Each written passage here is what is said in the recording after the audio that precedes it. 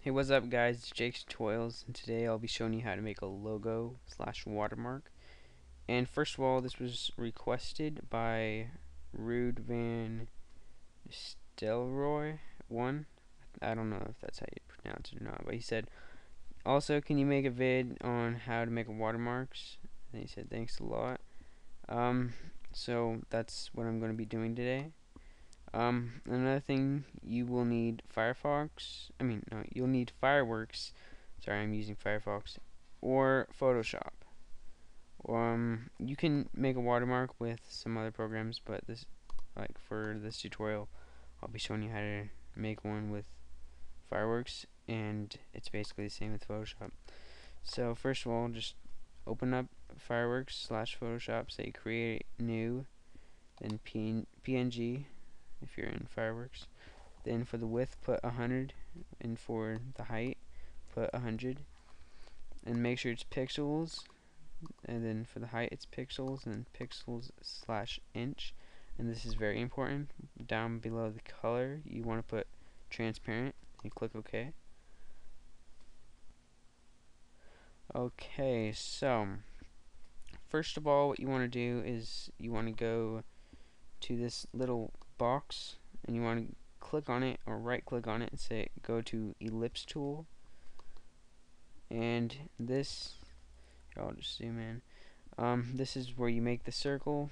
I guess you can make a rectangle or square whatever they have for shapes but I think circles look a little bit better. And then you choose your background right here and hmm uh, yeah I'll just stick with white and let's see next if you go to filters then you go to this plus sign. You can see little some of the options like for the blur there's some zoom blur. You can add some noises. Um, and here's what I'm going to do. I'm going to go to shadow and glow and say inner glow. And you can just mess around with some of this. Um, it really doesn't matter. You um, yeah so this uh, this isn't going to be one of my logos but this is just a demo for the tutorial. Yeah so just mess around with some of these um, you know different choices and you can just yeah it doesn't really matter what you put. I would keep the offset at zero and uh, then like I don't think you want to put that all the way to 35 I'd put it somewhere around 4 to 6 yeah um uh, mine is usually at 4 and the next thing you want to do is go to this text icon then just make like a rectangle maybe and put JT for initials. And really um, you can change the colors like say red and then that's how that's how it'll look right here but to make it look even better, if you go down below assets, or I think that's how you pronounce it, then you go to styles.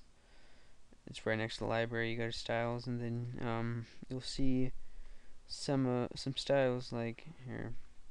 This is usually the one I use for my tutorials. I mean, not for as for my logos, and yeah.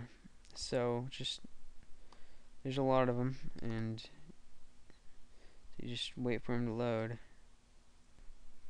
Some of them take longer, some of them don't. I don't know. I haven't really messed around with any of this. Um, yeah, so that there's some other things. Hmm. Like here's like the eraser tool. I'm sure you know about that. Um, let's see.